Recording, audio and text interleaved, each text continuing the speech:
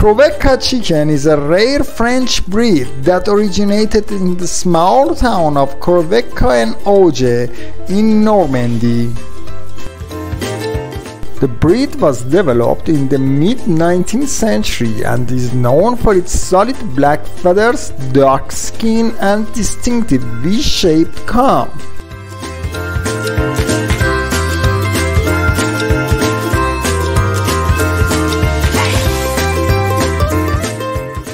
The name Crevecoeur literally means broken heart, and it's believed that the breed owes its name to the shape of its comb, which resembles a heart that has been broken in two.